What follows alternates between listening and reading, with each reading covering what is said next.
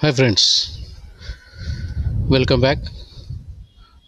After uh, looking into some interesting operations like adding, subtracting, then integrating, differentiating the inputs, now let us see how a logarithmic equivalent of any input can be achieved.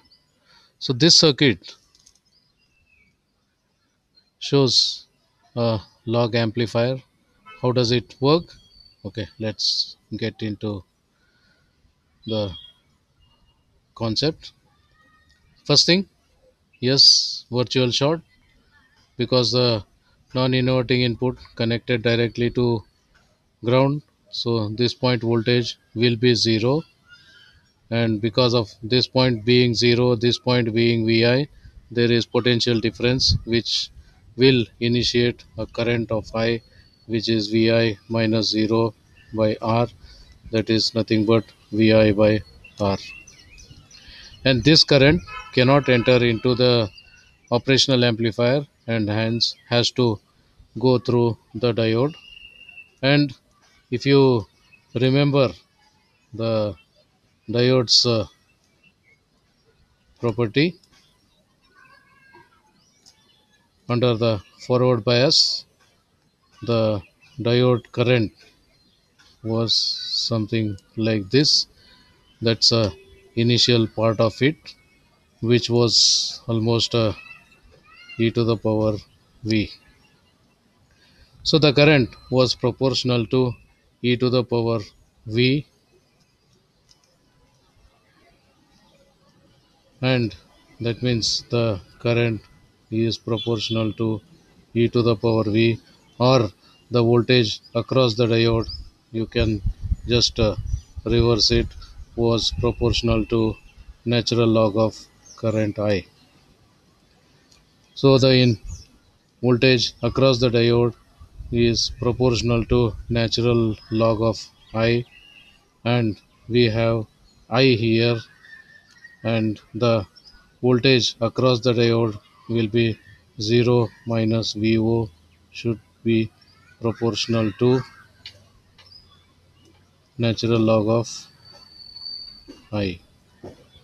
So this is minus VO proportional to natural log of what is I? I is VI by R. So for a given input Vi so we can say the output is proportional to natural log of Vi so this way a logarithmic value for any given input can be computed. Then how about a anti-log yes you assumed correctly. The anti-log operation is quite opposite of this. That means first connected diode then feedback resistor should solve this problem.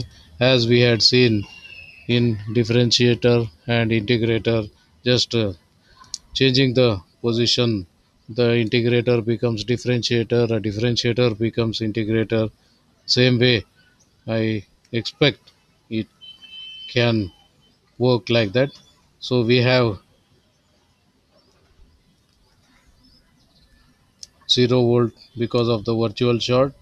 Therefore there is a voltage difference between the diode as vi minus 0 and that voltage difference is going to produce a current and the current produced through this diode will be proportional to e to the power vi the current flowing through the diode will be proportional to e to the power vi and the same current has to flow through resistor and therefore 0 minus vo by r will be the current i which is proportional to e to the power vi that means this uh, v uh, vo is proportional to minus r times e to the power vi or in other words we can say